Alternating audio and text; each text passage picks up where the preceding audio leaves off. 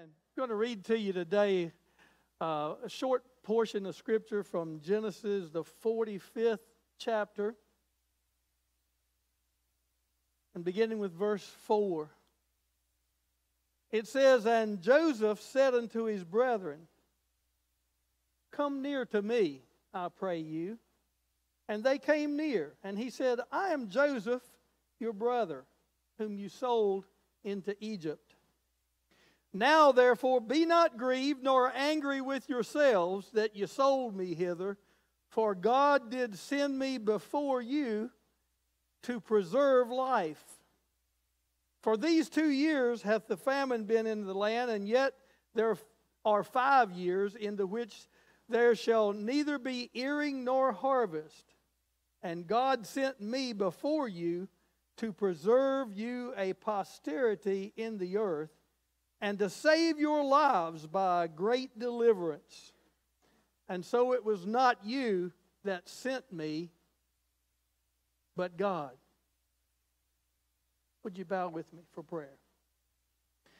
Father, we thank you for the confidence in knowing that we are here today because you sent us. You brought us. Thank you for the confidence of knowing that you are here with us even now to speak to us and to help us and to give us direction and to extend your grace to us, and we thank you for that. We ask that you bless our time together. Help me to bring the word that you've given me. Help the hearers to hear and to receive, and help us all just to act accordingly in faith. May your work and your will be done in all of our lives, and we give you praise for it in Jesus' name. And you can be seated. I titled today's message, Living the Dream. Living the Dream. No doubt everybody here has heard the story of Joseph. Joseph was the favorite son of the patriarch Jacob. And his jealous brothers, if you remember, uh, they, they were so jealous of him and so hateful toward him, they started to kill him, but instead they sold him into slavery into Egypt. And soon after that, he found himself incarcerated. But then, after he correctly interpreted the dreams of the king Pharaoh, he was raised to second in command in Egypt and he saves Egypt and his family during a severe famine. So much of the story of Joseph's life has valuable lessons for God's people. You know, I don't know if you ever think about it or not, but in some ways, our lives offer lessons to other people. Lessons of things that we need to be doing, maybe lessons about things that we need to avoid at all cost. But uh, Joseph was known as a dreamer. As a child, he dreamed a dream that shaped his life. And ultimately, it shaped the lives of his family and the whole region of which he lived. The story of Joseph's life, it was what uh, people that study the Bible call a type and shadow of Jesus Christ. Now, God gave us a lot of types and shadows in the Word. A, a, type and shadow is a reference to a story or a person or a situation that parallels or points to another and it helps us to understand its significance. That's what a type and shadow is all about. So, listen to this and you'll pick right up on the type and shadow. Joseph was the favored son of his father. Joseph at an early age was given a divine revelation of his destiny and his life lined up with it. Joseph's life had a direct impact on his family and on others. People around Joseph could not help but conclude that God's hand was on this young man because miracles characterized his life. Can you see how Joseph was a type and shadow of Jesus Christ? Now I want us to take it a step further. Joseph's life and the life of Jesus are types and shadows of God's will for my life and yours.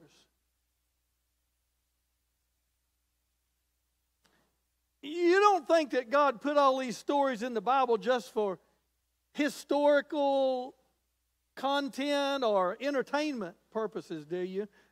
I mean, from Adam and Eve in the garden to the beggar Lazarus in heaven. It was written to help us see ourselves as we are and as God, by His mercy through Christ, created us to be. First Corinthians says that the word was, these stories were written for our examples. In other words, types and shadows. So I said earlier, we're calling this message Living the Dream. That's a saying that we hear often these days. Me and my buddy Dakota greet each other with that. Living the dream, that's what we're doing. But many times people say they're living the dream with a serious hint of sarcasm because they really feel that their life is anything but a dream life. I saw some guy said he was living the dream one nightmare at a time. No doubt much of that is true because a lot of people are pursuing the wrong dream for their life. I wonder, do you ever dream a dream? I mean, we're talking about just when you're sleeping at night. Uh, you ever dream a dream and the next morning you try to figure out why did I dream such a dream? What in the world was that all about? What in my life has happened to trigger such a subconscious and involuntary experience. I mean, there ain't much you can do about dreams when you're sleeping, you know. You, you don't have much control over them till they're over with. Sometimes I'll repent of mine anyway. I Say, God, you know I didn't have nothing to do with that, but I'm sorry. All right, now, y'all been there. You know what I'm talking about. Sometimes you dream a dream and you, you wake up and you say, What am I supposed to do with that? I don't know about you, but sometimes what I decide I'm going to do about it is just forget about it just quick as I can.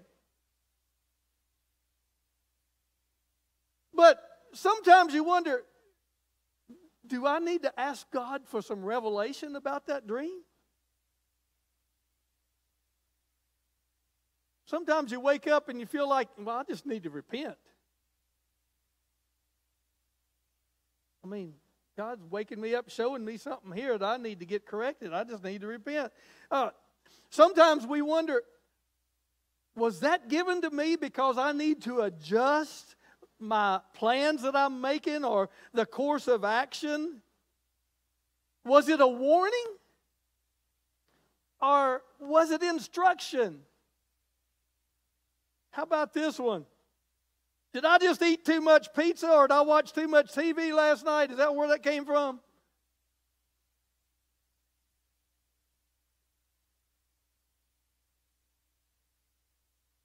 But now we're talking about dreaming when we're asleep. But at this point going forward, we're going to, I want to talk to you about a dream in the sense of a, having a revelation from God because Joseph had that. Our reference to a dream from here on is not going to involve being asleep, but it's going to involve us being awake and in tune and sensitive to the working of the Holy Spirit in our lives. And I hope, like me, you're all believing God and asking God and expecting God to be doing a lot of that in your life because we need His guidance, we need His wisdom, we need His revelation. He said that He would lead us. Amen? And a dream, in the sense that we're talking about here, is a plan, it's a vision, it is a purposeful direction or a goal, a life goal. Now, the Bible tells us that Joseph had a dream like this at a very young age. He knew from a child who he was and what his mission and what his purpose on the earth was. Now, so did Jesus, we're told. So, I got a very important question for you today. Do you have a dream of who God called you to be? You know what? To me, it's a sad thing because I observe a lot of people. It seems like they're just going through life and we're just getting through the day. We're just getting through the week.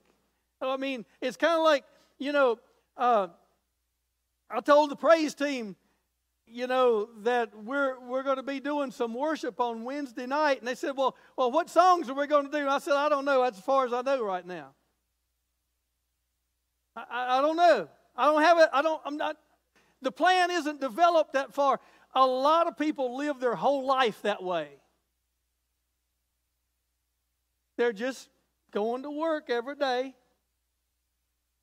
beating it in till hopefully Friday will hurry up and come and I get that check and then I'm going to do the same thing this weekend that I did last weekend. And, you know, it's just same thing, same thing, same thing. They don't really, there's not a purpose and a plan associated with where they're going. So they never know if they're where they're supposed to be. Y'all riding along? So I'm telling you, you need to know who God has called you to be, and He will show you. I'll promise you, he is just waiting for you to desire that enough that He can make it clear to you. And I'll go so far as to say this as a Christian, you will never be very fruitful or effective until that bridge has been crossed. Y'all thinking? Ain't nobody dreaming. You see, if you're truly going to be who God created you to be, you understand something very important today. Listen to me, brothers and sisters. If you are going to be who God created you to be and fulfill the purpose and the destiny that God created you for, here's something you understand. You don't get to choose that. I don't care what any of the New Age logic and higher education and everything else in this world is saying. There's some things you do not get to choose in life. You didn't have anything to do with when you showed up. I was born in 1953, but I couldn't. I couldn't say, "Oh, wait, wait a minute. I, I, I want to wait till. I want to wait a little bit later." No. God figured the world was ready for Steve Willis at 1953.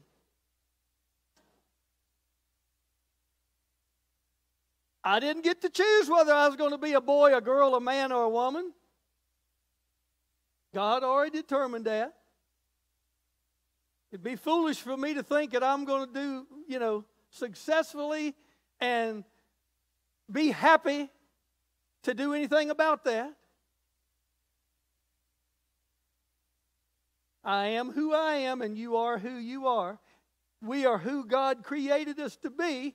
And the happier we'll be is when we say, God, I, just want to simplify things. I just want you to help me discern who you created me to be, who you called me to be, what my plan is, so I can cooperate with you. Amen? It's the only way we can really live the dream. I hope today that you have had a revelation that the only dream that really offers a dream life for you is the one that God has for you. All the others, I'll promise you this, they're empty. All the others are full of frustration. All the others are full of disappointment. But you can rest assured of this His dream for you is only good. It's only good all the time. And so, here's something that I just really wish all God's people would, would get a hold of. In order to live the dream, first of all, you must believe the dream and embrace it. What are you talking about, Pastor? Well, you know, whenever the Word tells us that if we're in Christ, we're a new creation, old things are passed away, behold, all things are brand new. Whenever the Word tells us that Jesus in us, that He will he will guide us and direct us, and He'll give us the words that we need at the right time. And, and you know, He wants to work in, in our lives. We've got to believe that. I, I, I think a lot of Christians just doubt that. Well, I know that's what, said, that's what it said in the Bible, but man, it sure don't seem to be working out in my life. Well, you haven't embraced it, honey.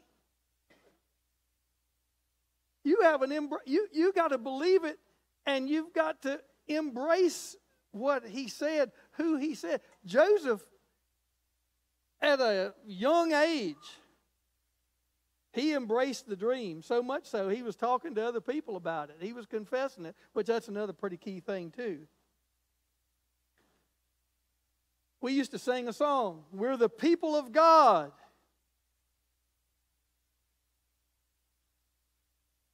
called by his name, called from the dark and delivered from shame, one holy race, saints everyone, because of the blood of Jesus Christ, we are the people of God. Listen, you got to believe the dream and embrace the dream. You're not just anybody out here in the world. You are a child of God. You're in this world, but you're not of this world. You got to know that. You got to live like that. Jesus was our example. He was type and shadow. He was the second Adam, which is a type and shadow of the blood washed child of God. He was the light of the world. But then he said, Now you are the light of the world. You got to believe it, you got to embrace it. If you're going to shine, you've got to embrace the dream. He said, We are the salt of the earth.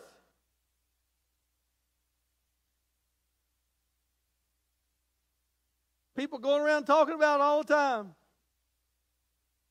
Oh, I can't believe the shape this world's in. I declare, never seen. I thought I'd see it like this. It's, it's just getting worse all the time. Going to hell in a handbasket. You're the salt of the earth. Why ain't you seasoning things a little more? Preserving things a little bit more? We've got to embrace the dream. If we're going to live the dream, there are some things that we got to understand just get an understanding of and prepare for. I'm going to talk to you about them today. The first one is we got to live it when others don't believe it.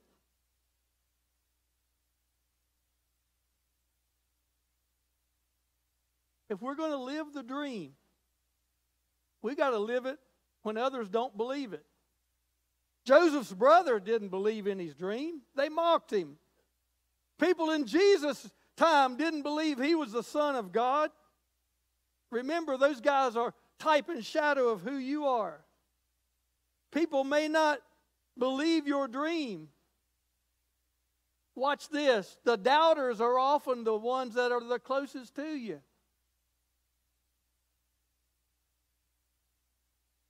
I remember when I first got saved, some of the people had the hardest time.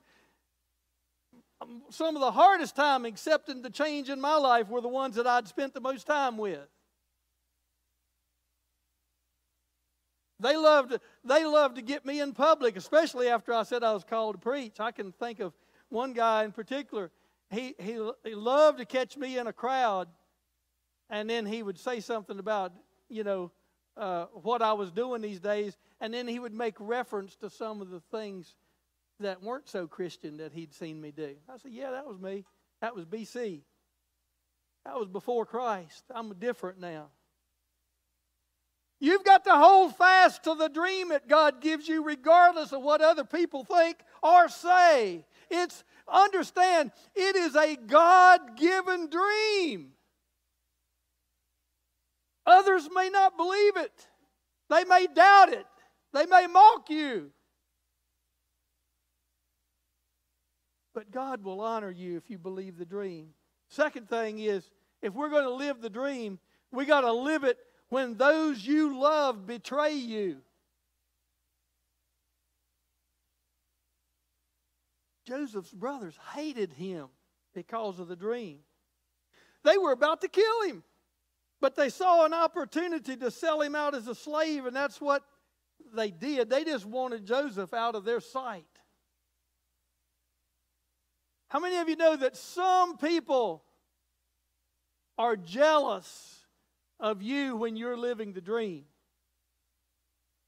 When you seem to be getting your life together when it hasn't been. When you seem to be doing better than they've ever seen you before. They're jealous of that, whether they would admit it or not.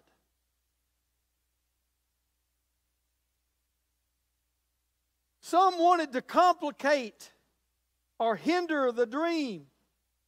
There's some folks that was going to want to complicate or hinder the dream that God's given you, but you got to believe it and you got to live it even when those you love betray you. Living the dream will sometimes cause you some pain.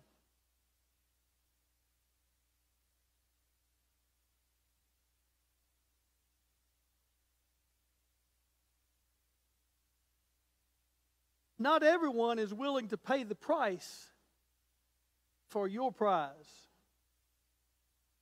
You've got to be committed to the dream for the long haul. I want to know today how many in here are committed for the long haul. You see, you got to understand some people will betray you. Some people are only along to play a very small part of your dream.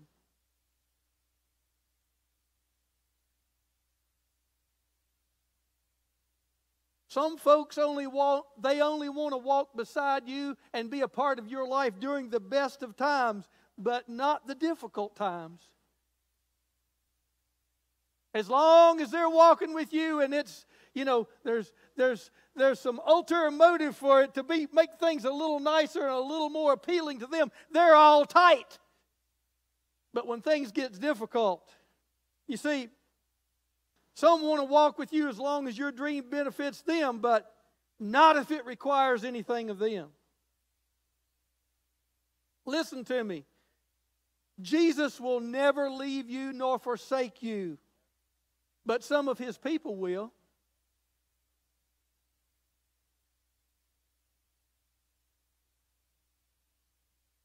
That's the truth.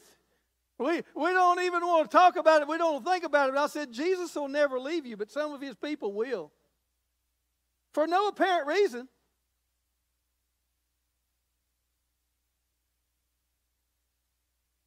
Some hearts have never been with you in the first place. But you better not let that change your heart toward your dream or toward them.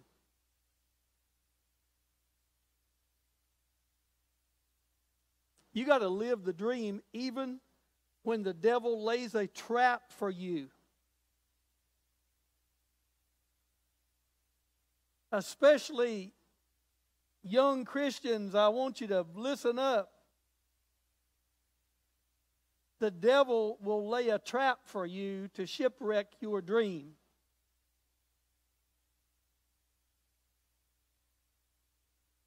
Your God is working to bring every piece of that dream into place, but there is an enemy at work that wants to derail your destiny.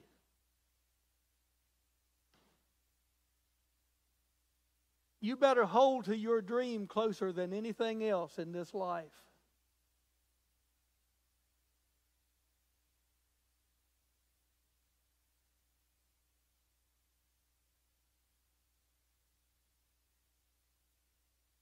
The enemy will try to lay a snare for you, but if you'll be discerning, God will show you the trap and provide a way out for you.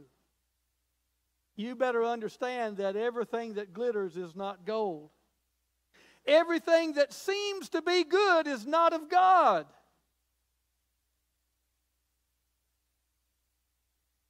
In the first part of the Bible, we read about Eve and Adam and Eve and, and how the enemy laid a snare.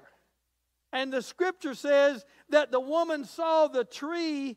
Here's what it says she saw, and I underlined this phrase, it was good for food. And then it says it was pleasant to the eyes. And it was a tree to be desired. Well, all that sounds pretty good, don't it? Man, the enemy can make things look really good for you.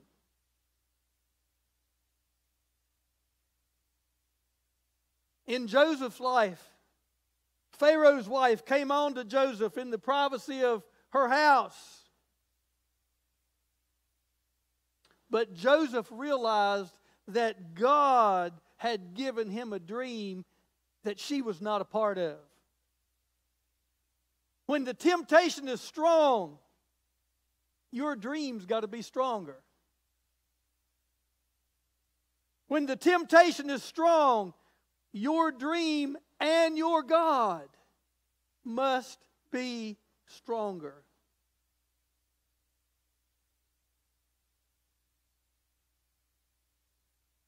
If you're going to live the dream, you got to live it when it looks like it's not working.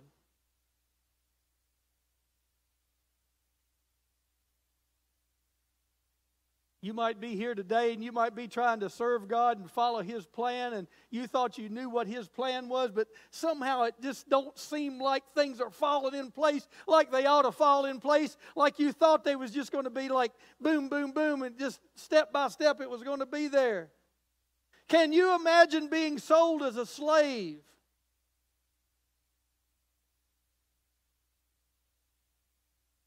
Then being elevated to the second in command of the king's affairs. And then being thrown in jail and forgotten. There seemed to be a lot of up and down in Joseph's life before it all came to fulfillment.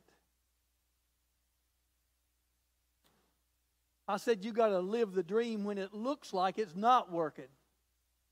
Do you think he may have been tempted to think, I must have missed God somewhere? You know, I remember a time in my life as a pastor when it just didn't look like things were. I, I could not imagine that what was going on in my life and Sheila's life and, and in our ministry, I could not imagine that it was God's plan and the dream that He had for us, and I became very discouraged. Sometimes it just looks that way. I was I began to question, did I miss God? Did I think I heard God? Did I think I understood the dream but I was just being presumptuous? Did I just think what I what I thought was God's plan was not right? But in all the story of Joseph, in all the story of Jesus Christ also, you never once saw Joseph stop being used of God. Never once did you fail to see the evidence that God's hand was still on him and he was being used of God right where he was. So when you are somewhere you never intended to be, or somewhere you never envisioned yourself for being, I want to encourage you keep living the dream. Keep looking for ways for God to use you. The dream is still valid. And God's word says that his gifts and his callings are without repentance. In other words, he doesn't give them out carelessly. He doesn't toy with us. He don't he don't bait us out there and then pull it back. He doesn't remove it. Never once did you see Joseph begin to talk foolishly and confess anything but faith in his God and who, he's, who he was.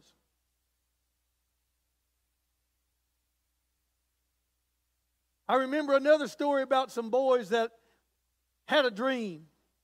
Those Hebrew boys that were facing the fiery furnace. Here's what they said. They were, they were, they were living their dream when it didn't look like it, it, was, it was working out. They said, Oh, king, you may throw us in that fiery furnace. But one thing I want to tell you my God is able to deliver us, and He will deliver us out of your hand, O King. We will not bow to your images. I remember another man named Job that was living the dream, but there was a season when it looked like everything was just not, it was going the wrong way. It was going backwards. Uh, it just wasn't panning out. His wife said, Job, why don't you just curse God and die? It's just not working out. And he said, Though he slay me, yet will I trust him. God was about to turn his situation around. It may look like to you that your dream is not coming to fulfillment. Understand something. If it's God's dream and He gave it to you, He's going to turn it around. He's going to turn it around. I said, He's going to turn it around for you.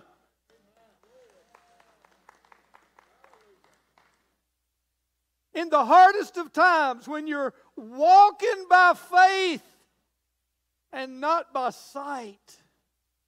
Keep living the dream.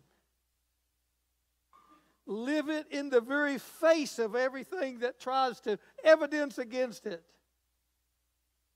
Many times it seems that things are not working, but that's when God is about to turn your situation around.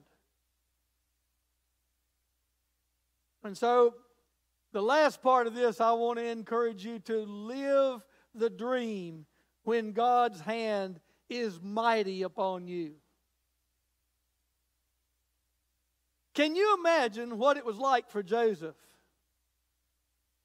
When God brought him out of the darkest of times onto the center of stage of what was happening in the world.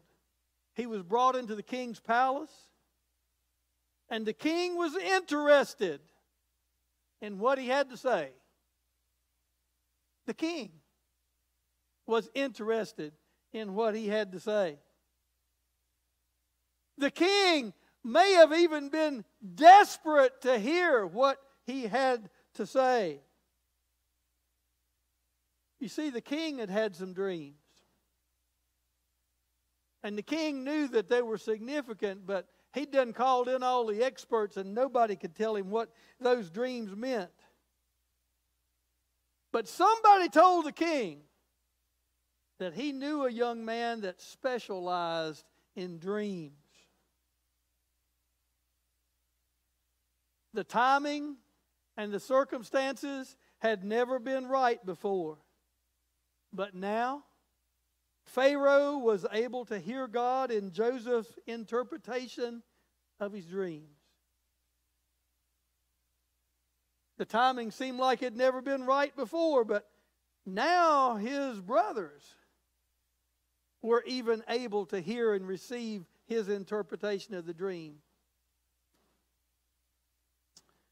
Joseph was elevated to the very place God had showed him when he was a boy.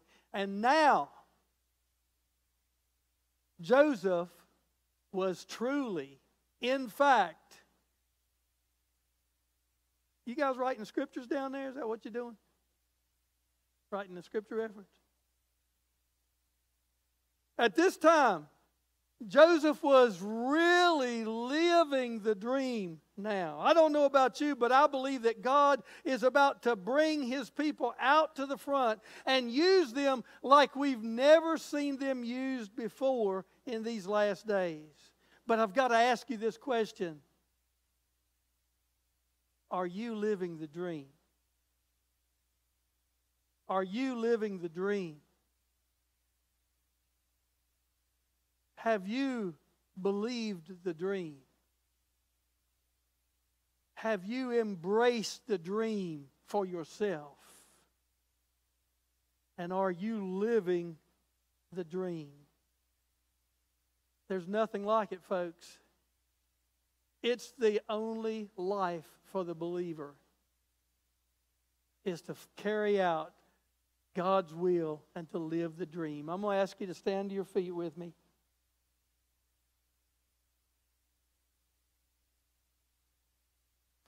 Would you just bow your heads with me, please? Father, we thank you today that we understand that we're not here by accident. And this is not just another day. It's not just another holiday weekend. It's not just another Sunday that we come to church and go home and do the same thing and feel the same way and respond the same way. But Lord, we understand that we're a people of destiny. And we want to fulfill that destiny.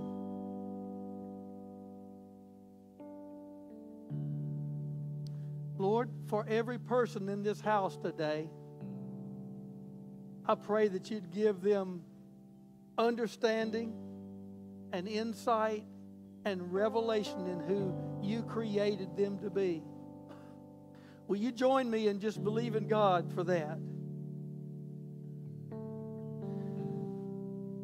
God, every person here is a special person in your kingdom in the providence of God, every person here, you have invested and vested with gifts and callings and talents and abilities.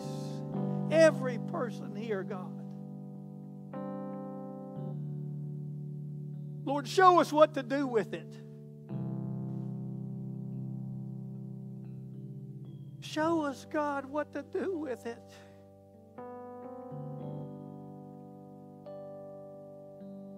Burn it into our spirit like you did young Joseph at an early age that he just knew. He just knew that in your time you were going to use him significantly. Burn it in our spirit like you did your son Jesus who knew before the foundation of the world. Lord, help us not to waste our days in idle things and in temporal things.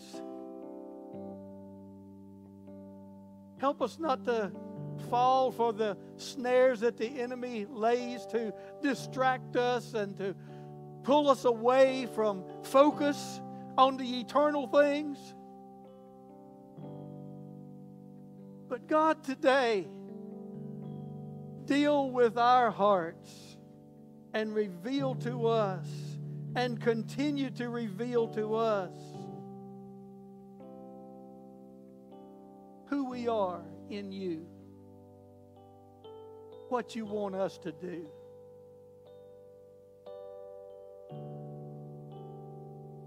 And help us, Lord, to hold that dream close to our hearts. Speak to hearts here today, God.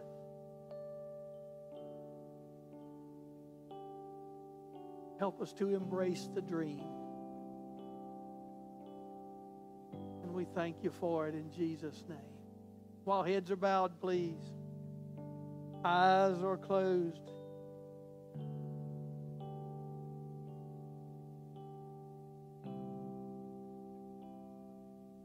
Possible that you're here today. You've not surrendered your life to Jesus. You know you need Him. You know that He is ex- expressing His love to you. He's showing you that He loves you and He has a plan for you, and, and His plan is better than the one you've been operating in, but you just haven't invited Him in. You haven't opened your heart. You haven't said, Lord Jesus, I come to you today and I confess that I need you and I want you in my life, and you welcome Him in. If that's you today, I want to give you an opportunity to receive Jesus as your Savior and Lord. You don't have to do one thing except simply call upon His name and in sincerity ask Him to forgive your sins and to come into your heart and be your Savior and be your Lord. If you're here today, and you need to pray that prayer. Holy Spirit is convincing you right now that it's something you need to do. I want to encourage you to do it as we pray. We're going to pray. We're going to pray the sinner's prayer. I'm going to lead it. Everybody in here that will is going to pray it. Some have, many have already prayed it. But we're all going to pray it together just to make it easier for you to do the right thing. And we can't do it for you. And our prayer won't fix it for you. But God's looking at your heart, and if you pray it and you mean it, He will come into your life. And He will make all the difference in the world. So I'm going to start to pray again, and at one point I'm going to stop, and I'm going to ask you to repeat a prayer after me. Father, I thank you today for everybody here. I thank you that you're moving in our midst today. I thank you that your Holy Spirit is doing his job. I thank you that the Word is doing its job. You said that we could only come to you if the Holy Spirit, if the Father draws us. Lord, you're drawing us today. And I pray for every person that has not received you as Savior and Lord, that today they would open their hearts and say yes to you, to welcome you in. Cause faith to arise as we pray. And we thank you. Repeat the prayer after me, please. Heavenly Father, I come to you today in Jesus' name. Thank you for loving me. Thank you for sending Jesus to die in my place. I recognize today that I'm a sinner and I cannot save myself. But I ask you to save me. Forgive my sins.